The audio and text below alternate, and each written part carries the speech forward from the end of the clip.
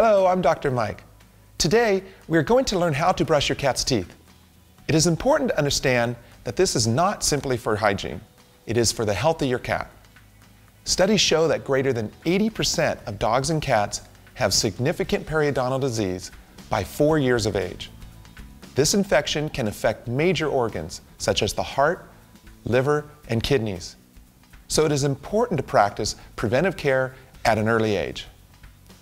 To get started, you will need to get a small toothbrush or one made specifically for cats. Also, you will need to get a pet-approved toothpaste. These come in pet-friendly flavors and have a lower fluoride level safe for ingestion. Some cats can be difficult. You may want to trim their nails and or wrap them in a blanket.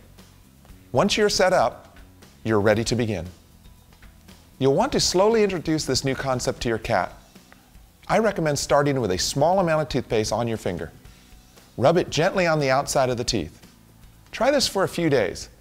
As your cat accepts this routine, try the small brush. These initial trials should be brief, 5 to 10 seconds. As your cat accepts the brushing, slowly increase the duration. You only need to brush the outside as the tongue will do most of the work on the inside. It is really that easy. I'm Dr. Mike, and thanks for watching.